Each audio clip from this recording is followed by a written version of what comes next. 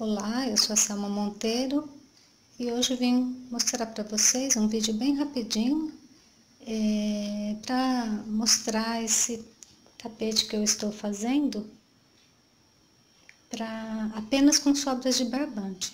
Então, eu tinha umas sobrinhas aqui em casa e eu queria aproveitar essas sobrinhas. Aí eu resolvi fazer esse tapete. Então, é, eu usei essas cores, é, são todos barbantes número 6. Eu usei essas cores que para fazer o começo do tapete, eu fiz com 39 correntinhas. E usei a cor cru. Em seguida eu usei essa cor aqui, que é um salmão, bem clarinho.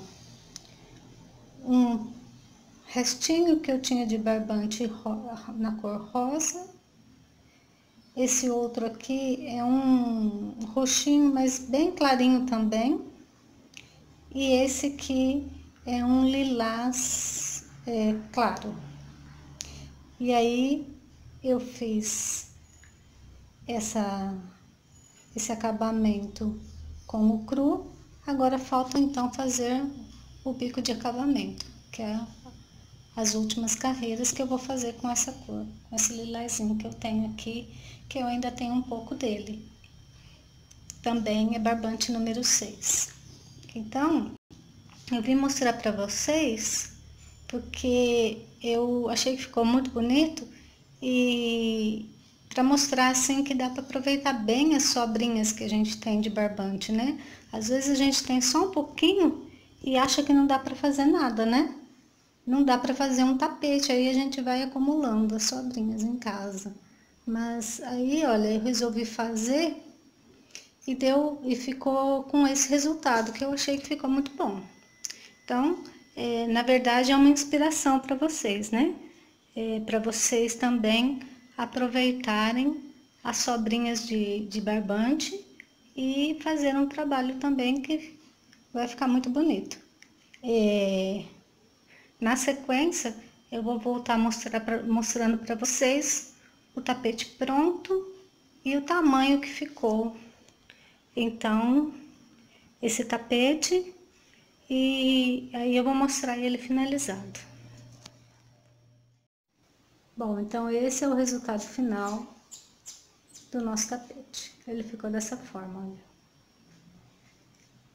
Eu fiz esse bico de acabamento na cor lilás. E fiz esse detalhe aqui, antes do bico de acabamento, eu fiz esse detalhe, que também deu uma diferença no, no tapete. É, esse tapete pronto, ele ficou medindo 72 centímetros de comprimento por 50 centímetros de largura.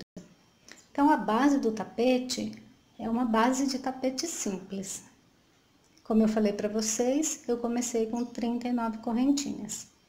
E aí, se a gente usar a criatividade, nós podemos, é, apenas com sobras de barbante, fazer trabalhos que vai nos surpreender.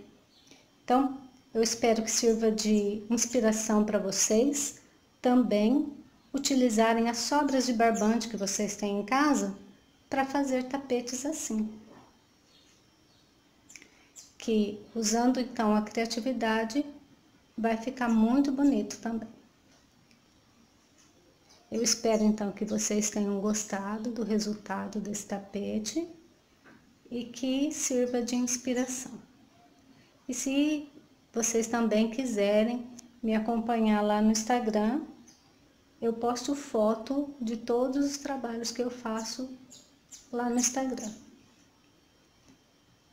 Eu espero então que vocês tenham gostado desse tapete. E até o próximo vídeo então. Um abraço a todos. Obrigado.